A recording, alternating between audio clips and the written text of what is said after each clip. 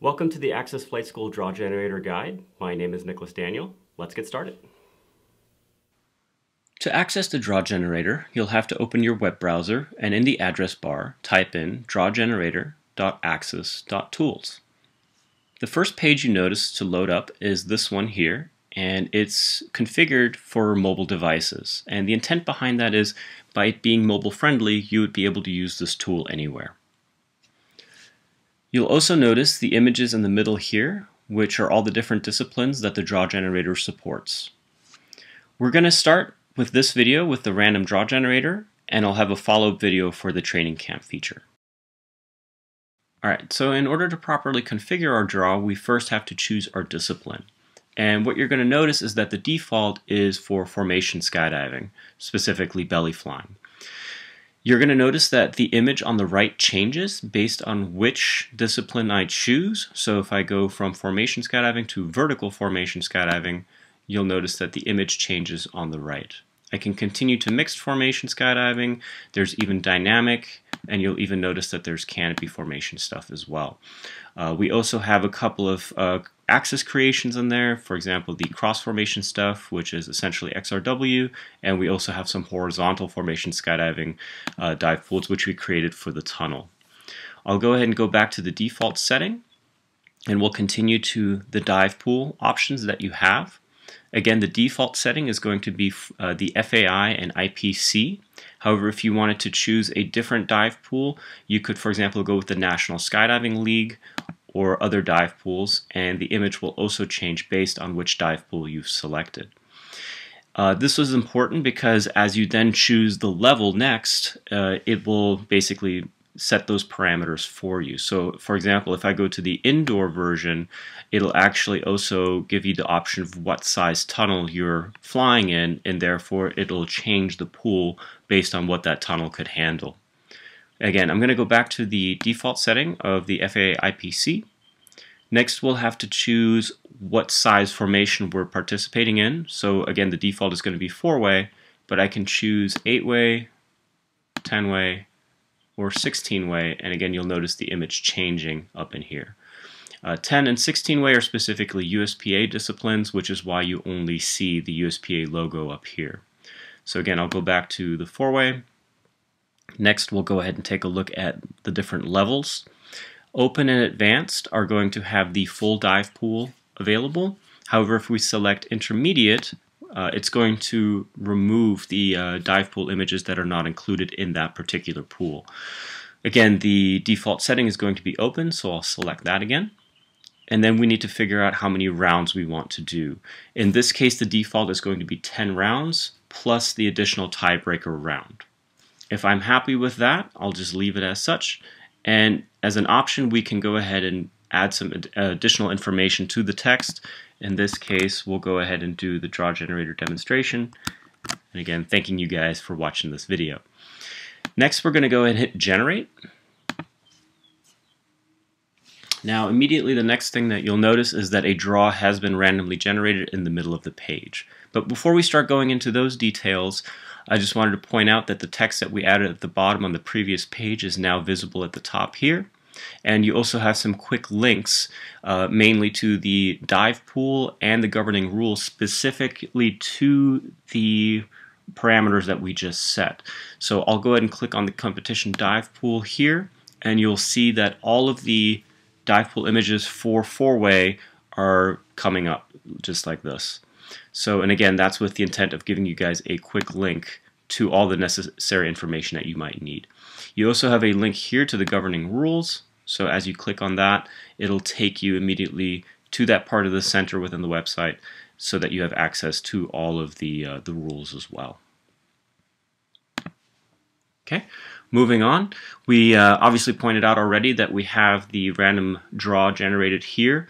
And typically if you're a training team uh, and you're, let's say, the captain for the week, uh, I usually like to just take a screen grab of that and then send it to my teammates. However, if you're a um, beginner team or you're not entirely familiar with all the dive pool images, you also have the option here to select uh, images and names. So if you click on that, it'll essentially create a drop-down menu and expand each one of these rounds, and it will show you what the formations look like.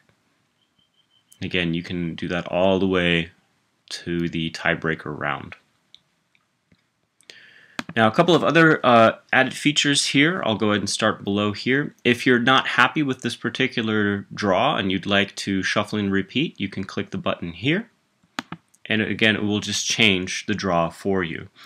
If you found that you actually put in the wrong configuration, meaning let's say that you went into open but you wanted to uh, initially do the uh, intermediate dive pool, you can click new configuration and essentially start over. A couple of other helpful items on this page are the one-page summary. So the one-page summary essentially takes all of the uh, dive pool images and puts them on one page. And it's in a PDF format so you can easily save it and then ultimately email it to your teammates. Or if you're a coach and you wanted to use this as a coaching tool, you can then send this to your uh, students or teams that you're working with.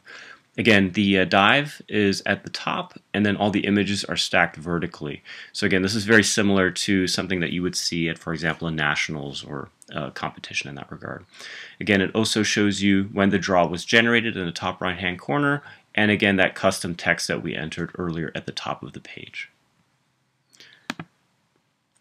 The other feature, uh, this is more for judges, but this can also be great if you wanted to have this hanging up for maybe like a local competition that you're running, is you can do the one page per round. So the one page per round option also creates PDFs and uh, again this is going to give you more information about the particular draw that you created. Um, as we scroll down you'll see each round occupies an entire page so the images are a little bit larger uh, it also spells out the uh, IDs and names for the formations and then this is really helpful for the judges is that you also get to see this view here. So we have a three blocker right here so you can see that the top of block 5 is going to be the first point of the sequence and then the bottom of the block is going to be the second point. As uh, you get into the second page, ultimately block 5 will be points 7 and 8, 13 and 14, and so on. Uh, that's what the A and B stand for. A is the top of the block, B is the bottom of the block. Same thing for block 8 over here. It'll ultimately be the third point and the fourth point on the first page, 9 and 10 on the second page, and so on. Um, if I take a look a little further down, here we can see a couple of the randoms. P in this case is going to be the first point, and then as we complete that page, it'll be the seventh point on the next page, and so on.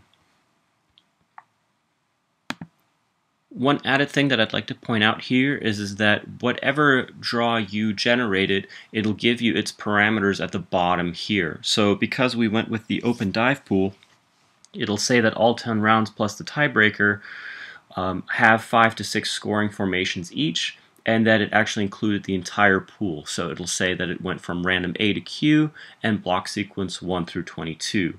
Now if we go ahead and go back out of here and create a new uh, generated draw with the intermediate dive pool, we'll go ahead and take a look how that differs. So now you can see that we have only four to five scoring formations per round, and then you can also see which block sequences and randoms are included at the bottom. So again, we have A through Q, but then we only have blocks 1, 2, 4, 6 through 9, 11, 13 through 15, and 18 through 22.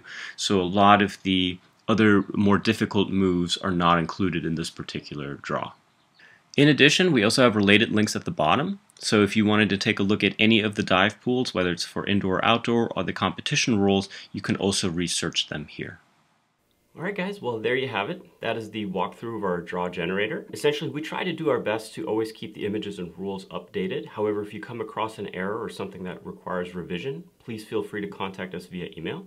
We hope that you enjoy this useful tool, have fun with it, and we'll see you next time.